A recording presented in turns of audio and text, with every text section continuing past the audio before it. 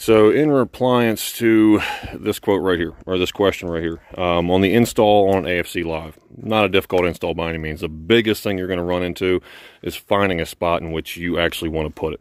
Let me show you. So if you guys seen my video, I mount it right on the uh, lower dash panel there and just run my lines back under, excuse the mess, back through to the uh, plug that's in the back there. Um, that goes right into the engine bay.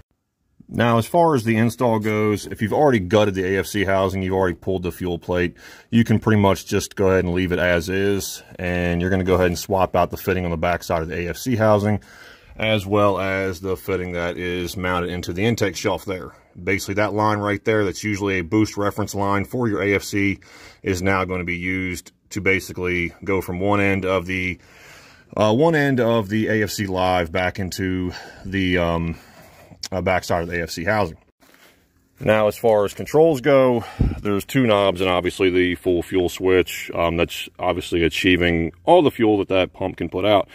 Now, adjustments aren't really that difficult. The smaller knob is going to be your fuel rate. So think of it as if you're thinking of the AFC housing itself, you have the quote unquote smoke screw, and then you have the power screw. So your fuel rate is your smoke screw essentially. So if you're wanting to have more acceleration, obviously you'd want to have a higher fuel rate. Now, if you're looking for overall power, that's when you would adjust the larger knob. I'll show you. All right, so the biggest thing is here, everybody asks about the gauge. The gauge is the boost pressure going into the AFC housing. Then we go over to fuel rate, which again is going to be your uh, quote unquote fuel, your, your smoke screw or what have you. That's your acceleration right there. And overall power is going to come from this knob right here. Now, you're going to use a number of ways to tune this. All right, so I would really highly look into an EGT gauge. Your EGTs are going to vary how much you actually want to adjust the max power screw. And obviously, how much comes out of the exhaust pipe. So basically, if you got a lot of smoke rolling out of there, maybe you want to cut back on the uh, max power screw, depending on your situation, how you want to drive, man. I, I'm not you, so hey, whatever.